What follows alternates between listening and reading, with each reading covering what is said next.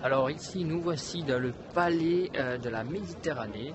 Alors c'est un accès qui est réservé donc aux personnes qui ont forcément le badge.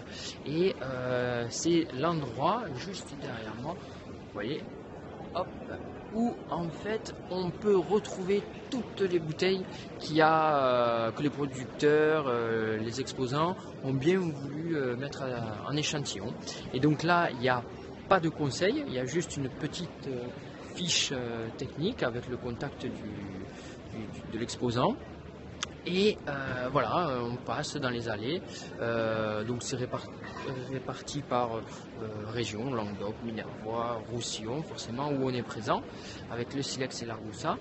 Et voilà, on déguste. il y a des crachoirs, bien évidemment, parce qu'il doit y avoir quelques bouteilles quand même. Et puis voilà. C'est juste par curiosité et ensuite on se rend dans le stand qui nous intéresse. Voilà.